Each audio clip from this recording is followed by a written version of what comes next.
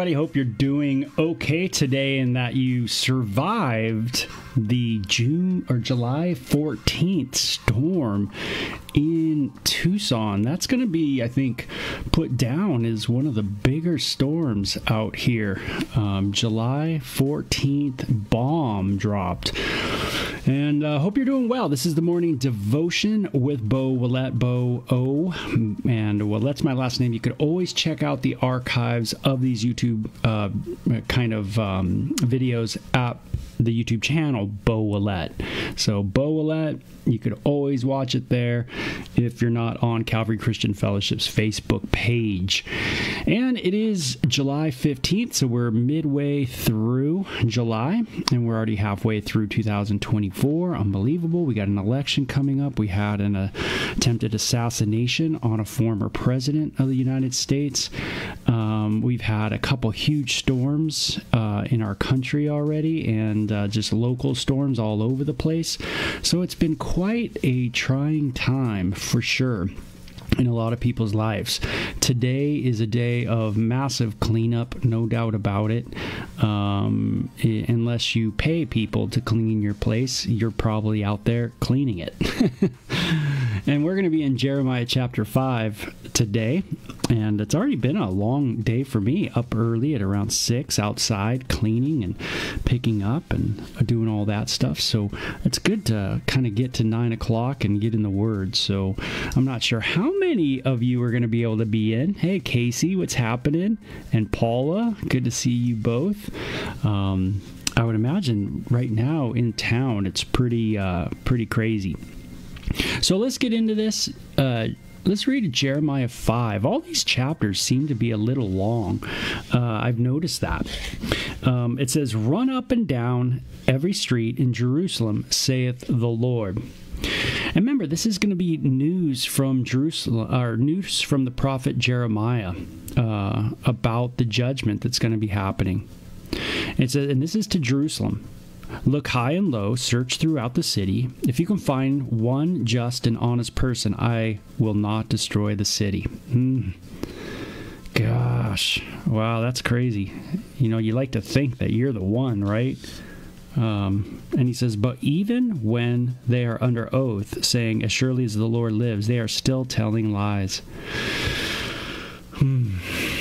Wow, the human condition is a rough one. The Bible paints the most bleak, bleak, I'm saying like super bleak picture of humanity I mean, we're talking about the the chosen people, the people who entered into a covenant with the true and living God, and they are out of touch, right?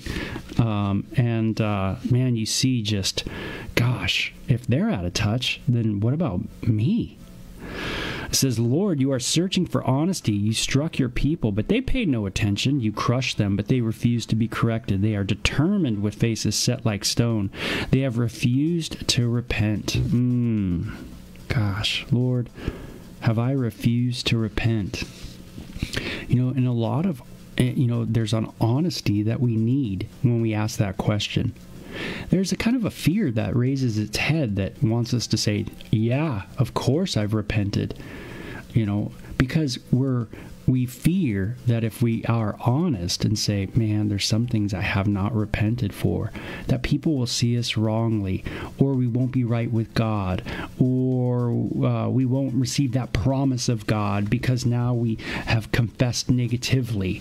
You know, there's all kinds of interesting fears and insecurities that go into our heart. And we kind of have a, a, a religious show with it, a religious veneer over it. But really, when you kind of chip through, through us, it's a lot of insecurity and a lot of uh, fear that's in us. To just say, hey, I haven't repented of some things. There's some things that I just have not wanted to bring to the Lord, you know, and that's that's honest. Then I said, but what can we expect from the poor? They are ignorant.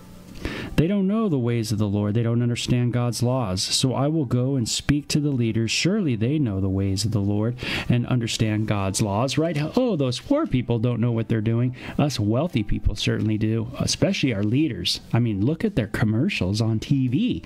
I mean, aren't they so, you know, hmm, persuasive, right? it says, but the leaders too, as one man, had thrown uh, off God's yoke, had and broken his chains. So now a lion from the forest will attack them. A wolf from the desert will pounce on them. A leopard will lurk near their towns, tearing apart any who dare to venture out. For their rebellion is great and their sins are many. So, hey, just as the poor, just as the rich. Mm, in God's eyes, same. How can I pardon you? For even your children have turned from me. They have sworn by gods that are not gods at all. Even your children, your offspring. So this is something that's been entrenched, you know, in the family life of Israel. You know, what's the, what's the family life? Uh, what have I left for the family? You know, what is my kids, you know, worship? Uh, you know, who are they worshiping? Is it a reflection of my wife and myself? You know, are they in a sense like us? You know, um, you know, have we led them down wrong paths? And those are tough questions for parents because the last thing you want to say is, of course not. You know, certainly not. I take it, I'm sure if you had like a survey and you just said, hey, parent, you know, did you lead your kid astray? They would go, absolutely not nope, nope, nope. But, you know, I think if you get again honest, you know, and this is the tough part is pride, man, creeps in so much. You know, you go, oh, yeah, what we're usually saying when we say, of course I didn't lead him astray, is I did better than the other person. I did better than my parents. I did better than my grandparents. I did better than the neighbor down the road. I think I did better. But if you get honest, you'll realize that, man, there's some things that you didn't do so good and that you uh, pass those down too, you know. And uh, you see that the sins of the father and the mother uh, continue into the daughter and the son as well. And you see some of that too the stubbornness, maybe the jadedness, maybe the false worship too, worshiping gods, moving away from the true and living God, you know, maybe because they saw your example or your lack of examples, you know, things like that. So it says, hey, they've sworn to gods that aren't even gods. You know, I fed my people until they were full. So God's not just into, the God of the Bible is not into just worshiping God. That's not what the God of the Bible is into. The God of the Bible is into correct worshiping of God right? So when someone says, "Oh, I just worship God," and we go, "Oh, great," well, no, from Yahweh's perspective, the God of Israel, it's like, no. What is the evidence for you worshiping that God? Is there evidence? So he, the God of the Bible, wants evidence for any other God's existence. Very cool, right? So it says. Uh, um, I fed my people until they were full, but they thanked me by committing adultery and lining up at the brothels. They are well fed, lusty stallions, each neighing for his neighbor's wife. Should I not punish them for their sins, says the Lord? Should I not avenge myself against such a nation? So you see that they just kind of gone their own way. You know, sexually just filled with lust, just doing their lustful things, you know, not thinking about God at all. And this this definitely rings so true with our day. We live in a super lustful culture all kinds of things, right? And uh, gosh, uh, I mean, we it's like we constantly live in adultery in our heart, in our culture, because of what we've allowed, right? It's like you know, when I was a kid, you had to go to the to the liquor store to like peek at maybe a magazine that might be behind the counter. You know, that that's kind of what you got. You know, if you found something in the trash, it was like, whoa. You know, today though, everything's free, and that is gnarly. I mean, it's gnarly. It's it's hard for all of us, right? The temptations are super huge. No matter what what social platform you're on, what your internet you're on, you know, you, you see emails that come in or different things that come in, and they're all there's some of them they're super risky, right? And so it's it's just a weird time like that you know Now you can think of a culture that just everybody just hey says you know what I'm just gonna we're just gonna you know be swingers man we're just swinging that's how we're doing this thing. I mean it, it seems like you know their worshiping of false gods really tied in to this sexual promiscuity. And there's a difference here. A lot of us struggle with sexual lust, but we aren't necessarily wanting to worship like the goddess Diana, you know, that kind of thing. But then there's then there's the worship of Diana, like a false uh, fertility god, right? There's the worshiping of that deity that has in its worship ceremonies that are sexual, if that makes sense to you. You know, that's usually not what we're doing. Usually people struggle with some kind of sexual lust as they do with other forms of lust, right? Lusting power, right? lusting money upon money, lusting food, lusting drink, lusting TV, right? Lusting music. Man, like an over, you can overreach. You, your lust can go in all different ways to where you're no longer really doing the right thing because you are literally obsessed and consumed by something. Yeah, and it really has affected your spiritual life, the way you see God, which is of uttermost importance. So it says, Go down to the vineyards. This is verse uh, uh, 10, by the way. Go down to the rows of the vineyards and destroy the grapevines, leaving scattered few alive. Strip the branches from the vines, for these people do not belong to the Lord. The people of Israel and Judah are full of treachery against me, says the Lord. They have lied about the Lord and said, He won't bother us. No disasters will come upon us. There will be no war or famine. God's prophets are all windbags who don't really speak for Him. Let their predictions of disaster fall on themselves. Oh, that Jeremiah, oh, those Isaiah guys, you know, man, they're always just bagging, always just so harsh. Maybe there is a judgment that I need to go through you know? Maybe when god you know strikes you know maybe when even a disaster hits just maybe is it really wrong to say hey you know what god you know you've allowed this and that there's something i need to pay attention to you know? Or do we just ignore it and say that's not god that's the devil you know? And and we refuse to really look at our lives. And that's what israel's doing. They're just really refusing to look at their lives no matter what comes their way. Nash, you know, a disaster of, uh, you know, a flood or an earthquake or whatever it is, uh, you know, or war for that matter. They're just not willing to look at themselves. You know, what's going to get their attention? You know, what's going to get my attention? And that can be a frightening uh, question. Therefore, this is what the Lord of heaven uh, and the ar- of heaven's armies say.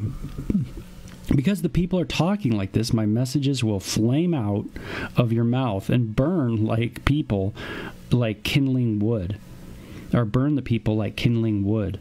O Israel, I will bring a distant nation against you, says the Lord. It's a mighty nation and an ancient nation, a people whose language you do not know, whose speech you cannot understand. So this is Babylon, right? The weapons, they're pretty old, old place, right? We read about the old Babylon, Tower of Babel, you know, kind of thing, maybe. Their weapons are deadly. Their warriors are mighty. They will devour for food uh, of your harvest. They will devour your sons and daughters. They will devour your flocks and herds. They will devour grapes and figs. They will destroy your fortified towns, which you think are so safe. You know, what do I think today is really safe? Do I really think I'm safe? You know, where am I really only safe? You know, and this is what Jesus was so amazing about. Don't worry about those who will destroy the body. Man, you should be more concerned about your relationship with God. And that's so powerful, right? You know, am I really safe in my home? Well, not when a big storm comes and rips the roof off. Not that safe. Not when the emergency comes in and says, go in the basement now. uh, no basement. you know? Yeah, it's like, you know, only God is really can be our refuge and our for- fortress, right? That place we can run to. Yet even in those days I will not blot out you completely, says the Lord. And when you your people ask, Why did the Lord our God do all this? You must reply, You rejected him and gave yourselves to foreign gods in your own land. Now you will serve foreigners in a land that is not your own.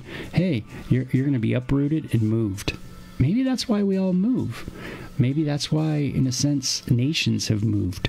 You know, people groups have moved. Maybe there's been an uprooting you know, because of issues, problems, iniquity, stuff like that. It's very interesting to think through through why we're where we're at today, right? Why do they live in Australia? Why do they live here? Why do they live there? You know, those kind of questions really interesting. A lot of turmoil is going to be uh, found out in those answers. So we finish up by going through this last section, a warning for God's people. Make this announcement to Israel and say to Judah, Listen, you foolish and senseless people with eyes that do not see and ears that do not hear. Right? Jesus talks about this. Right? You have eyes but don't see, you have ears that don't hear. This is what's from Isaiah as well. And you have no respect for me. Why don't you tremble at my presence? Jesus talks like this, right? Why are you not listening to me? He says, I, the Lord, define the ocean's sandy seashore, I, uh, and an everlasting boundary that the waters cannot cross. The waves may toss and roar, but they can never pass the boundaries I set. But my people ha- are, have stubborn and rebellious hearts. They have turned away and abandoned me. They do not say from their heart, Let us live in awe of the Lord of God, uh, uh, Lord our God, for He gives us rain and spring, uh, each spring and fall, assuring us of a harvest when the time is right. Your wickedness has deprived you of these wonderful blessings. Your sin has robbed you of all these good things. Among my people are wicked men who lie in wait for victims like a hunter hiding in a blind. Uh, they continually set traps to catch people like a cage filled with birds. You know, their society was one of constant preying on people businesses that would prey on calamity, people that uh, a system that was set up to where there was an exploitation of people's vulnerabilities. I mean, isn't that what we have today? I mean, in our world, a system that is set up on people's vulnerabilities. Someone just loses something, they lose all their money, and yet you're going to charge them more money to get things fixed so that they can live. It, it, just doesn't make sense, right? Someone gets a disease and you you're charging them, you know, money to help them with their disease. You know, that's a life-threatening disease. It's like, and, and you're taking all their savings, maybe having them sell their home it doesn't it doesn't sound like love at all. It doesn't sound like care at all. It doesn't sound like business ethics at all. It sounds exploitive. That's sad. You know, you write your mayor, you write your governor and say, "Isn't this exploitation?" You know, these systems? And and they don't no one wants to respond. You know, it's so sad.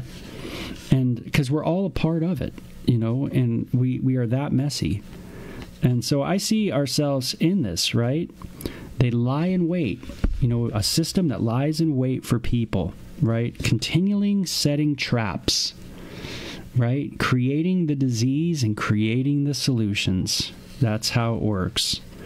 Like, and it says we're like caged birds, right?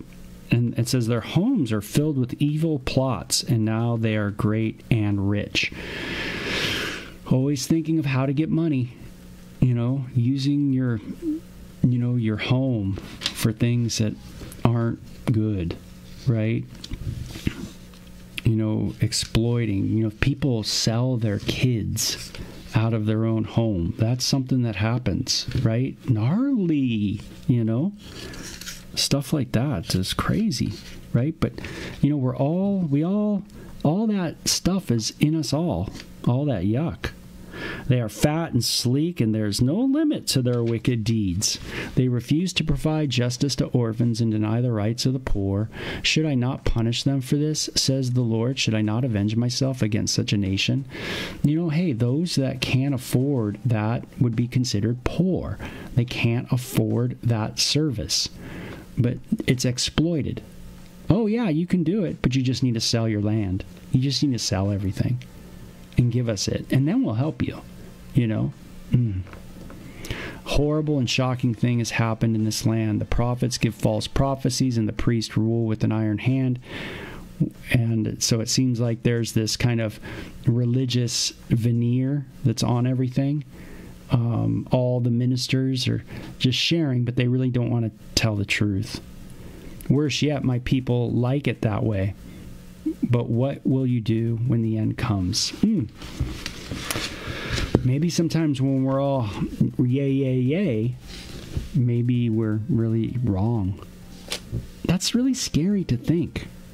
Because when you're in the yay, yay, yay mode, when you're in a crowd and everything's, you know, hooray, hooray, everything's cheery, the last thing you're thinking of is that I'm wrong. You're there and you think you're right.